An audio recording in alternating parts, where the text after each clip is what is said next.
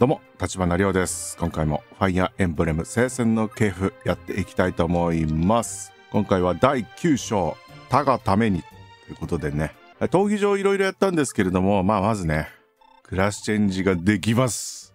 頑張ったな。お前はロードナイトにクラスチェンジできるぞ。めちゃくちゃ楽しみだな。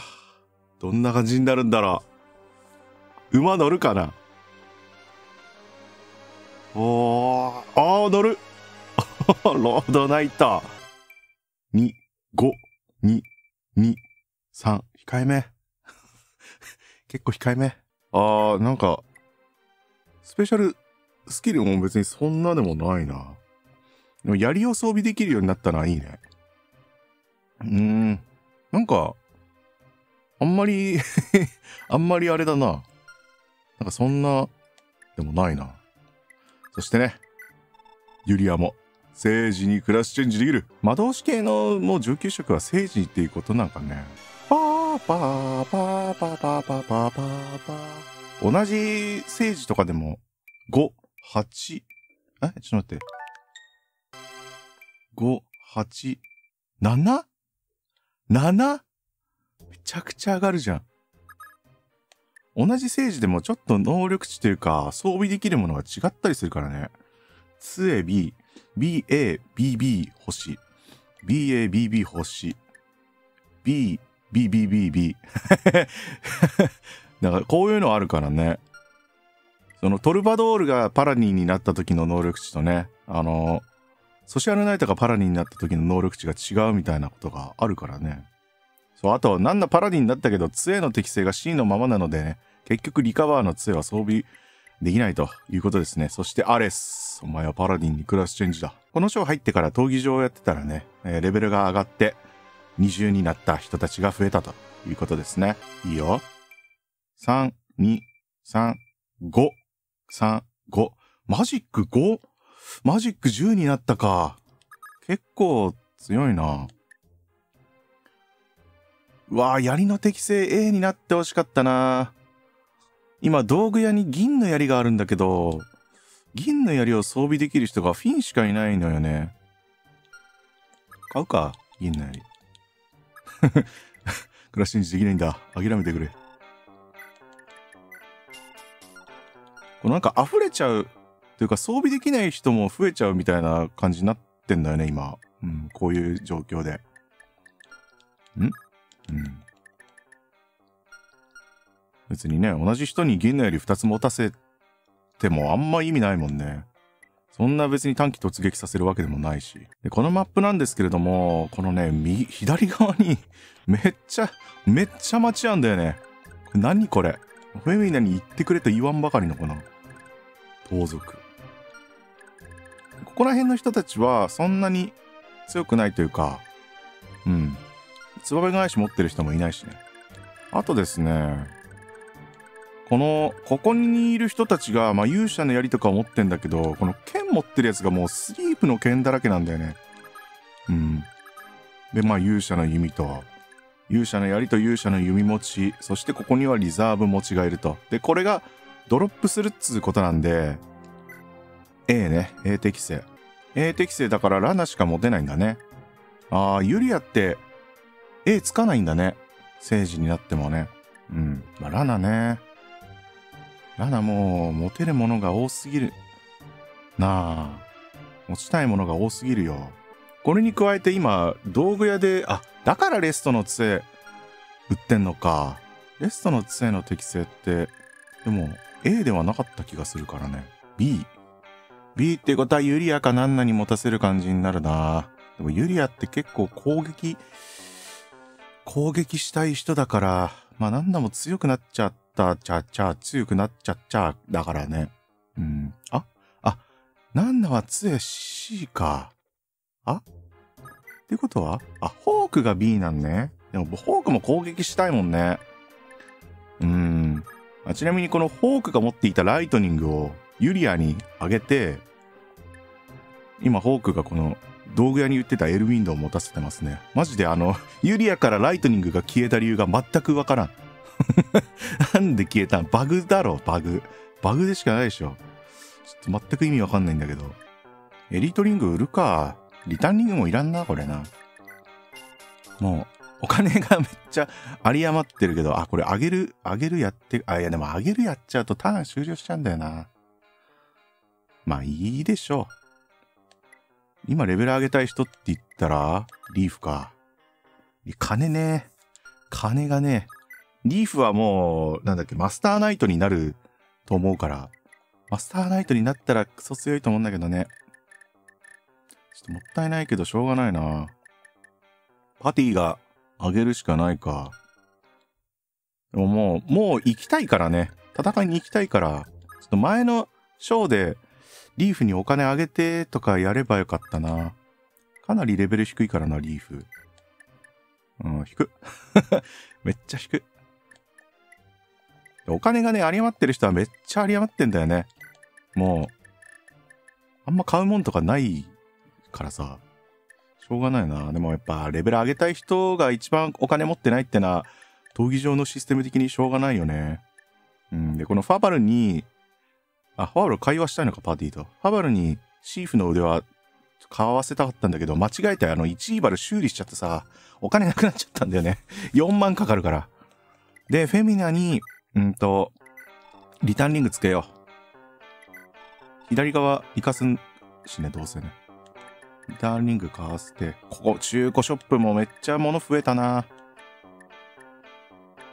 トローン装備できる人がいないんだけど、そういえば。さあ、行きましょうか。んちゃ、んちゃ、んちゃ、んちゃ、んちゃ、んちゃ、んちゃ、んちゃ、んちゃ、んちゃ、んちゃ、んちゃん、ちゃ。んちゃ、んちゃ、んちゃ、んちゃ、んちゃ、んちゃ、んちゃ、んちゃえっとね、フェミナをがっつり左にまあ正直言って途中で黄色表示になって進めないとかはあると思うだけどね。まあとりあえず行かせていいでしょう。うん。左側がっつり行かしちゃってさこれ最高度は？うわすごいな。めっちゃ前出れるじゃん。あーだいぶいいねハッピーやっぱお金をな。お金をリーフにあげたいな。この段階から。本当はね、この道に沿ってさ、行かせた方がいいんだけどね。リーフレベル上げたいってのもあるから、先に行動させて、で、装備もちょっとね、斬鉄の剣とツバメ返しとかいろいろ装備させてるんで、この、まあ、アーマーだらけだからね、ここ。斬鉄の剣が非常に有効なのと、まあ、ツバメ返しでこいつらも戦える感じにして、まあ、レベル上げられたならっていうのはちょっと考えてますね。オイフェに斬鉄の剣いらんかな光の剣もあるし、もったいないな。オイフェに持たせてんのは。他のもうちょっと推しが弱い人たちに持たせていた方がいいかもしれないな。つってもあとはデルムッドぐらいだな。もうあの、流星剣3人組はほんと強すぎるんでね。もう何も考える必要ないんだよな。で、パーティーがちょっとお金をあげると。あ降りれるロードナイトは馬から降りれるんだ。そういう特性があるんだ、ロードナイトって。面白いなあんまり使う機会はなさそうだけど。あるのとないのじゃあ全然違うからね。ここで最高度をかけて、フェミナだけもう左側にがっつり行ってもらうと。本当はね、一番足が遅い人たち、5歩しか歩けない人たちを優先的にやった方がいいんだろうけどね。左側ちょっとフェミナ、街を守らせたいという強いし、この第2部からの恋人関係ってのはさ、きっと恋人アタックが出るか出ないかぐらいのものでしかないと思うから、あとはエンディングで誰と誰が結婚したみたいな、そういうのぐらいしかないと思うからね。トラキア、あ、そうだ、忘れてた。おい、パティ、お前まだ盗みは働いているのかうん、たまにちょこっとね。意外にしろよ。いくら敵から盗むって言っても俺は嫌だぜ。私だって好きでしてるわけじゃないわ。でもさ、外国軍の台所を思うと仕方ないでしょ？だけどな、海賊の子はやっぱり盗賊かとか言って面白がる奴もいるんだ。もちろん、俺、どうしてったけど、言いた人には言わせておけばいいの。私は気にしない。だって、私たちの母さん、聖戦士ウルの血を引く戦士だったのよ。その話をレビンさんから聞いたとき、私嬉しくて涙が出ちゃった。俺もさ、だって俺たち、こっちだったし、ずっと惨めに暮らしてきたから。まさか母さんがそんな高貴な人だとは思わなかった。マディは母さんのこと覚えてるか？うんうん、全然。お兄ちゃんは？俺は少しだけ。とても綺麗でさ、優しい人だった。それで母さんは、ブリギット母さんは死んじゃったの？それはわからない。マティ、この戦争が終わったら二人で探しに行こうよ。ブリギット母さん、そして、まだ名前もわからない父さんをさ。ちょ、ちょっと、え？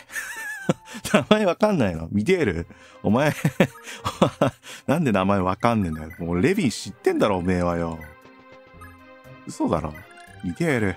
しょうがないな。これは母親を軸に話が進んでるんだろうな。いや、しかし上級職めっちゃくちゃ増えたな。怖っ。ん？ん反乱軍が進撃を始めてんだな。ハンニバル様攻撃命令をお出しください。待て、城の守備に徹するのだ。無用な戦いは避けねばならん。しかしそれでは。息子のことは分かっておるだかな。とにかくしばらくは様子を見よう。え？ー、やっぱフェミナで左下の白行かせた方がいいんかな、先に。攻撃してこないのであれば。おい。勘弁してくれよ。あ？俺より水城を奪回する。全軍反乱軍を攻撃せよ。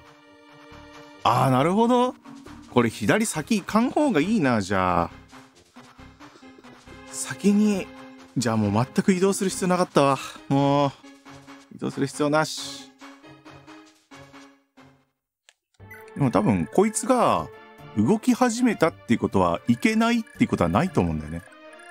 だから、これで OK だと思うんだな。守ろうじゃあ。弓と、リーフ。弓とリーフお前で守るんだしろ。頑張れ。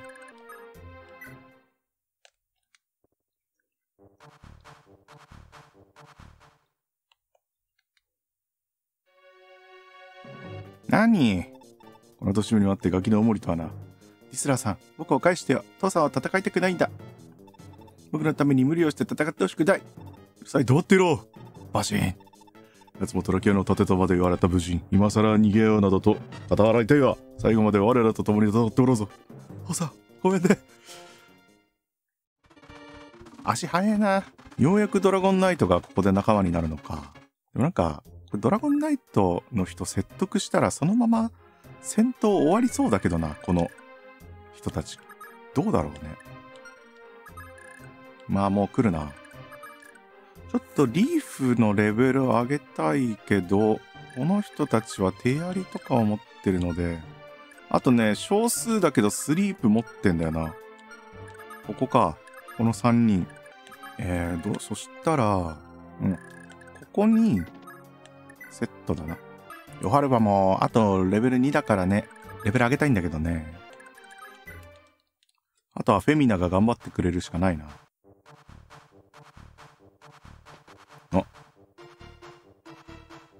いやー、HP 高い。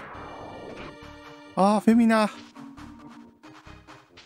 ェミナ。フェミナ。フェミナ。あー、フェミナ。ちょっとフェミナご勘弁案件。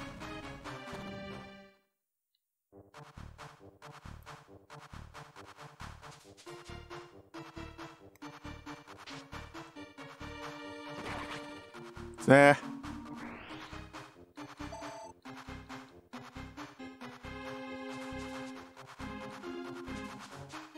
あれ？ああ、なるほど。回避が高すぎたのかな？だから攻撃してこなかったのか。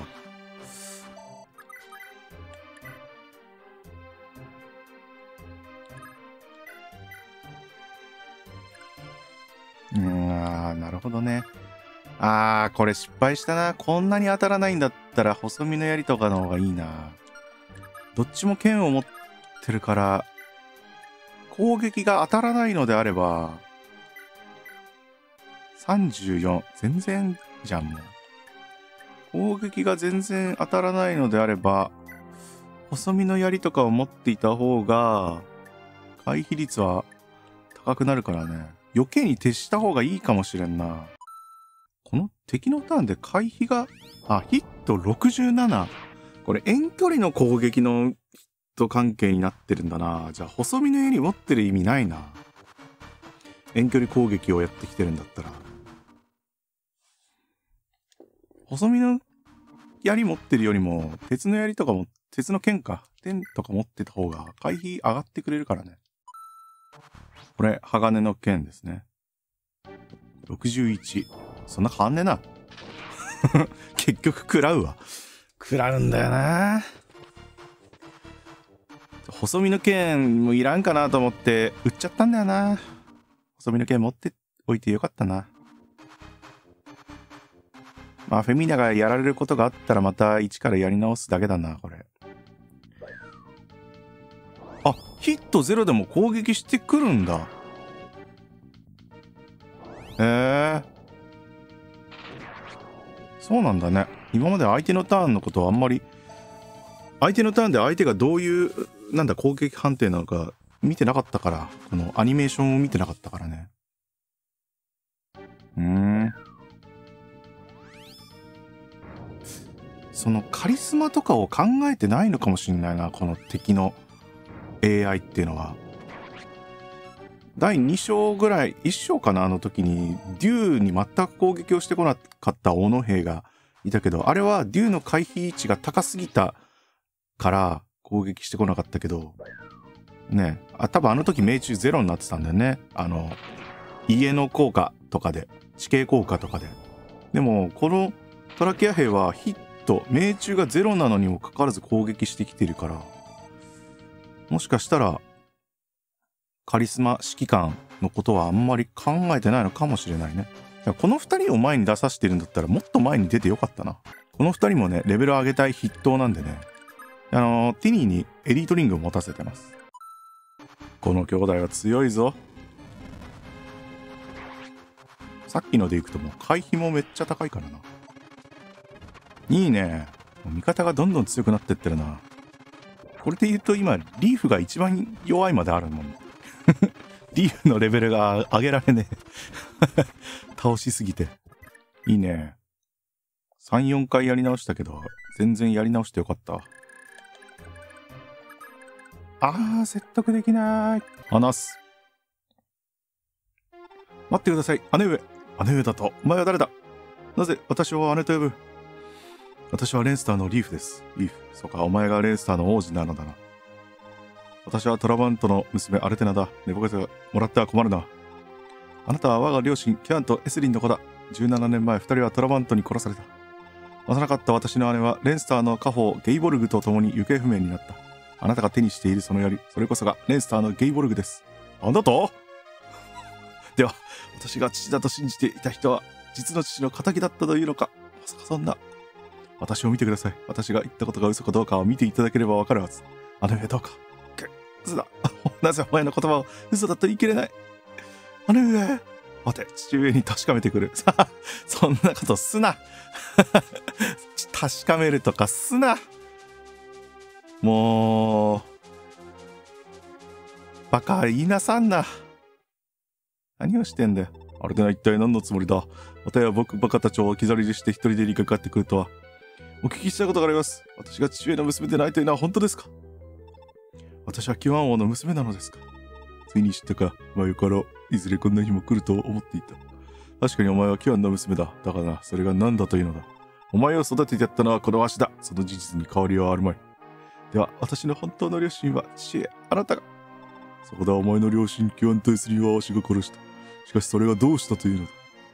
戦争とは殺し殺されるもの。今更そんなことを言っても始まるまい。許せない。私は騙して。チェ、いや、トラバット。私はこの男を殺す。誰にも邪魔はさせない。そうはいかない。周囲に歯向かうなら、この私が相手になる。ま、待て。私はアニメとは戦えない。もはや遅いな。アリオン、アルテナを殺したのか。何もそこまでせずともよかろう。まあよい、アリオンよ。こうなればわしが出る。もはやそれしかあるまい。城の守りはお前に頼む。お任せください。いや、これ生かしてくれてるやつだろ。お前にはこの槍を預けておく。良いな。トロキオを守るのだ。これはぐんぐりの槍ではありませんか？これから出陣されようかという時にどうしてこれを？もういい。私は足は疲れたのだ。何それ？お え？お、あとは、お、お前ならば奴らも憎んではおらん。彼らと休戦せよと。それは同意しかねます。だから好きにせよと言っている。ただし、民をこれ以上苦しめる。何言ってんのこの人？急にどうしたの？え？トラマントさんどうしたの？急に。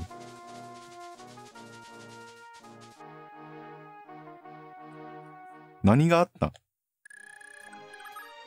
またお前なんかもう、敵をこんな出してきやがって。ライブの腕輪とか持ってんじゃないよ。これ待ってればまたなんか攻撃してきてくれんのかななんで手やりなの？そして。ちょっとリーフのレベル上げさせてよ。ハンニバルよりも先にトラバントを倒せば、ハンニバル仲間になるのではいけねえ、これ以上。崖。崖、崖、崖、崖。でもこれ、まあこいつ一発で倒されるやつなんか誰もいないだろう。うん。リーンでも耐えられるよ、きっと。ここはこれでいいな。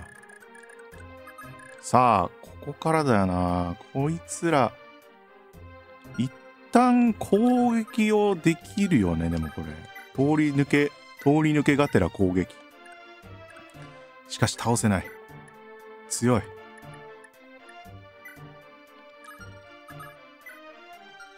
勇者、勇者のなんとかを持ってくればよかったかもしれんな。うーん、難しいな食らわないことの方が最重要な気がするんだよな。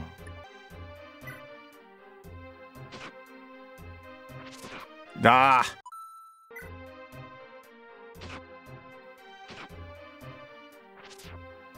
ナイスそしてここに、陣取ると。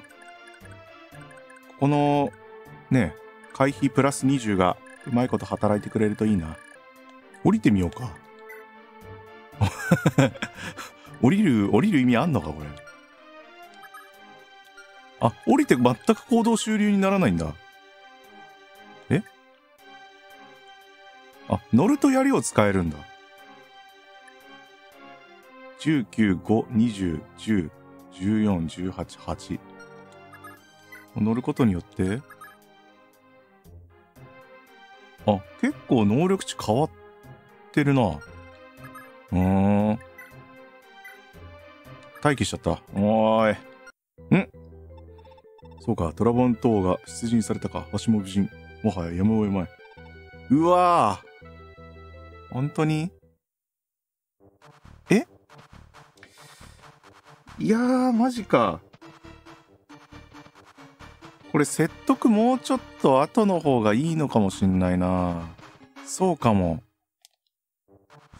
ちょっとフェミナをもう下の方に行かしちゃった方がいいんかな。先にね。くそ。どうしようかな。食らうな。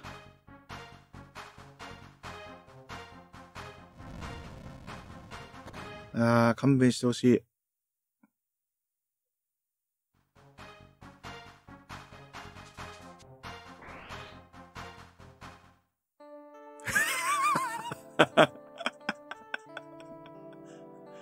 忘れてた。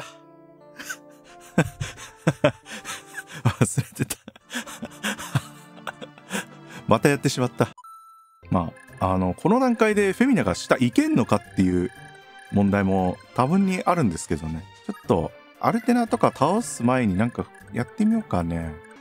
やめろお前のと、この私は倒せないまあ、死ぬよね。死んじゃうんだよな。強いすぎる。ゲイボルグ。ゲイボルグさん。いやー、なんとなくいけそうな気もするな。これちょっと試すか。試しパート。倒せるのか試しパート。うわー、オイフェも一撃なんだ。強必殺出られたらもう、そっか、技が上がってるから必殺が出やすいみたいな感じになってんのかな。わー、いけそうだないけそうだけど、マンパワー、フェミナのマンパワーが足りんのかっていう。いや、これ。おい、斬鉄剣持ってねえじゃねえかよ。斬鉄の剣持たせてないときついな。一旦やり、まあ、これもし倒せたら、倒すことによってハンニバル軍が解放されるのであれば、やっぱそれをやるに越したことはないんだよね。と思うんだけどね。くそ、戦績に 戦績にマイマイナスがつく。これやることによって、どんどんマイナスがついていくよ。油断しろ。強いとこれまずいな。もう検証すらできない、これ。うわよし、ナイス。でもこれそもそもさ、セリスでここを制圧しなきゃならないんじゃないの？無理よな。ハンニバルだけ残すみたいなことできるか？すげえ。高 HP で耐え忍んだ。うわぁ、避けてほしくないなスリープスリープせんな、あ、あやっとスリープした。スリープって本当にするんだな。8600、え？すごい中途半端な。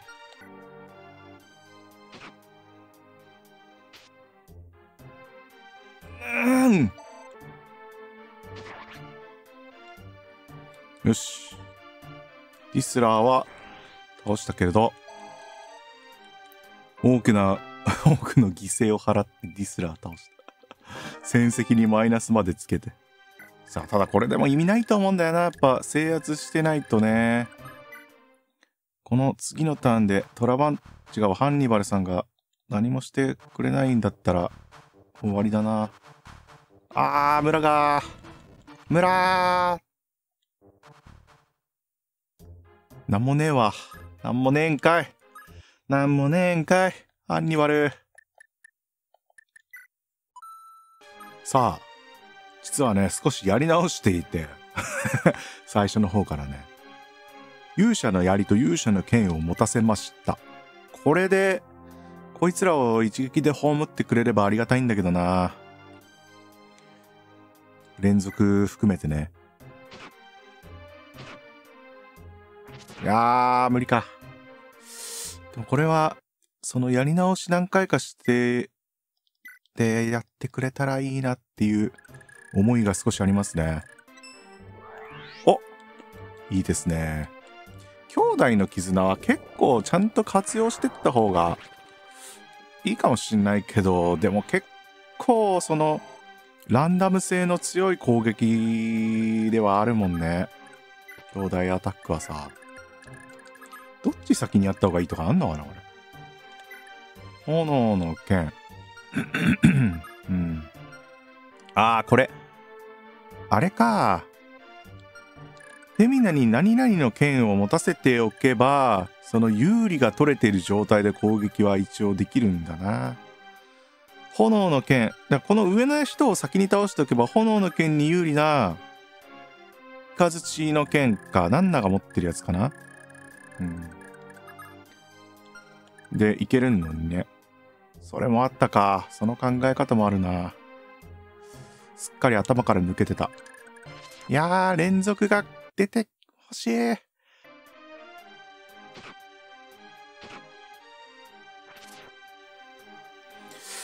ダメだ。ちょ、強すぎた。強すぎた、ちょっと。ダメよ。あ、これ、これどうなるんだろう？あ。父上、アルテナが戦死いたしました。そうか、まあよい。ありおんよ。こうなればわしが出る。はあ。まあ、死んだら死んだ扱いでそのままストーリーは進んでいくんだなトラバントこれなんでこうなったの？急に急になんでそうなったの？何かまだ企んでいるんでしょうか？さっぱりわかりませんが。はいダメ。でね私は考えました。今までもう味方のメンバーが出遅れるのが嫌だな、と思ってたんですよ。こういう時にね。で、このヨハルバさん、闘技レベル7です。で、みんな、ここにいます。出遅れるなんてことはありません。これでしょう。鉄の斧。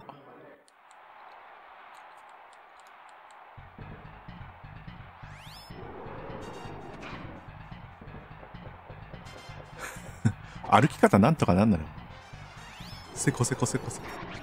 はい、これでやられます。やられると何が起きるかっていうと、えー、乱数が変わります。そして、これをまた戦うと。はい。できませんでしたね。あの、連続、連続が出ませんでした。そしたらどうするかっていうと、はい。2回やられました。しかもちなみに、この状態でセーブができるっていうね。セーブできちゃうんですよ。この状態で。なので、ここでもう一回やります。はい。また連続出ませんでした。まあ、攻撃も食らわなかったんだけれども、ここからは2回やられる必要がないというか、もうこれ2回ね、ヨハルバさんやられている状態なんで、こっからまたこうね。しかもこれのいいところは、相手のトルネードって78%あるんだよね、ヒットが。で、しかも先に行動してくるんだよ。なので、この鉄の斧のね、修理費がそんなにかからない。そしてまたセーブをする。これを繰り返すことによって、連続出てくれよ、頼むよ。素早さ、これ、あれか、スピードリング持たせてたら、25%ってことなのかね。25%ぐらいだったら出てくれるでしょう。はい。これでまた、発動しなかったと。これ、大丈夫だよな、これ、やってて。ちゃんとなってくれて、乱数変わってくれてるよね、きっと。きっと変わってくれていると信じてるよ。まあ、鉄道のそもそもそんな修理費高くないから、いいんだけどね。避けた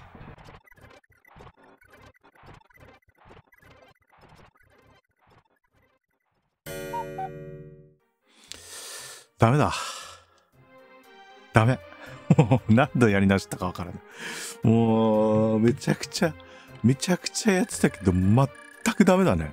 なんでだろう勇者の槍とかって、そもそもやってくんないとかあったりする？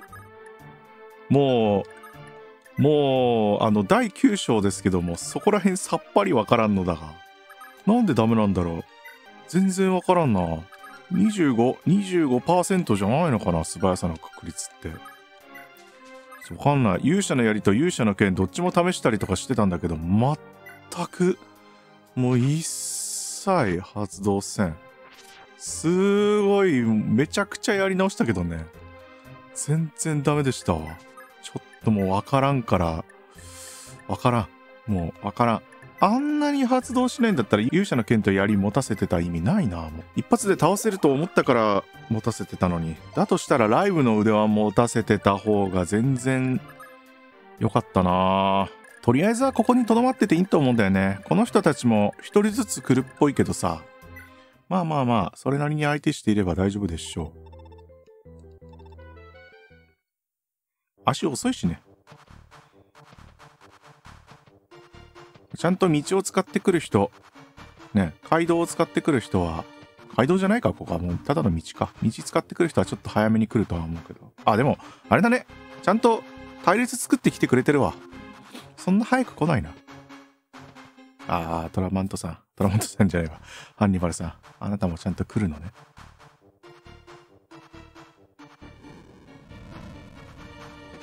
いやー、食らないでほしい。ほんと、こ勘弁してほしいなとりあえず、あの、盗賊だけ倒せればいいからさ。盗賊だけ倒せればいいから。やめろ魔法で攻撃してくるな。うん、やっぱライブの杖の方が全然いいな、ここ。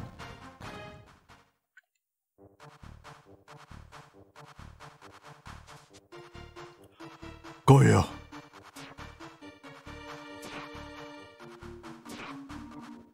いいね。リーフの経験値におなり。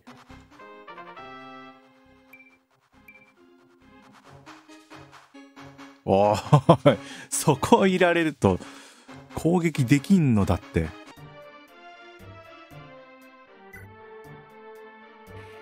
くそ一撃で倒せない連続が発動しないから食らういや、これやばいな。一人でも攻撃食らったらやられちゃうからな。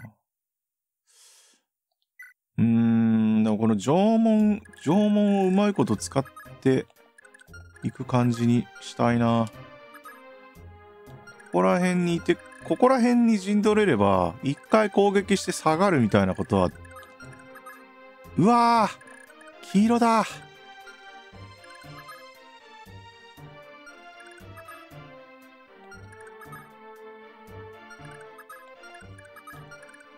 ダメだ。やっぱ一人からは攻撃食らっちゃうな。あー、ダメだ。だからやっぱりこの盗賊からは攻撃を一回も受けないようにしたい。え ?9% 出てきたな、今？嘘だろ。勘弁してくれよ。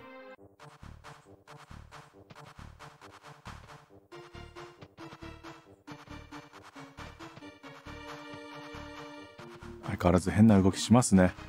あ、横向きの隊列と上向きの隊列を今やってんだね。さ、さっきのターンが横向きの隊列でっていうことか。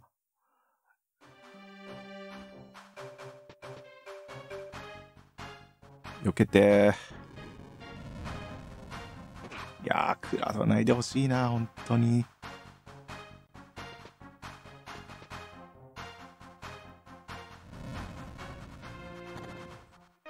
よし。あとはどう逃げるかですよ、フェミナさん。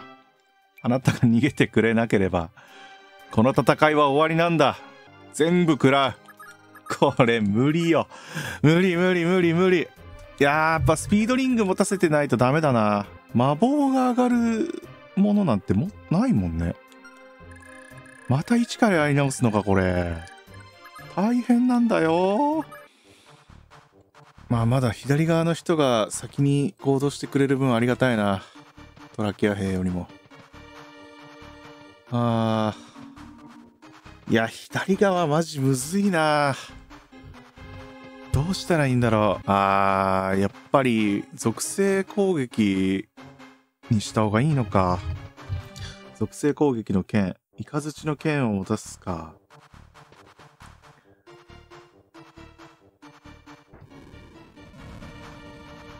はい。一からやり直しです。もう、もう。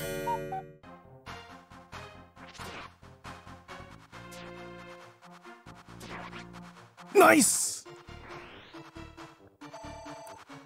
あいつ倒したのでかでっかめちゃくちゃでかいわ。ナイスすぎる。なんとか耐えてるな。イカズチの剣持ってきて正解だったのかな普通にもう攻撃し始めてるんだからな、こいつ。もうズルだよな。そこまで行くとさ。せっかく、ねえ。せっかくイカズチの剣持ってきても、近づかれたらそれなんだから。よし。こいつ倒して、下がる。オッケー。よかった。まあ、ちなみに、ここ何だったのか見るか。グルティアに暗黒教団の司祭が来ているという話は本当じゃろうか。グルティアって一番下の城か。ドラバン島の気持ちもわからぬではないが、ロフト教団と手を結ぶことだけは絶対にしてはならぬのに、あ、王も早まったこと。お主にこのバリアリングをやるゆえ、頼む、トロキアを救ってくだされ。あー、これ持っといていいかな。いや、でも、今この段階だともうあんま意味ない、意味ないまであるんだよな。結局その近づいてきちゃって攻撃してくるからこいつらはさ。なんということでしょうって感じだけど。このがっつり後ろ下がれば、来るとしてもこいつ。あ、そして魔法攻撃してくるからイカズチの剣で対抗できる。よかった。逃げられる。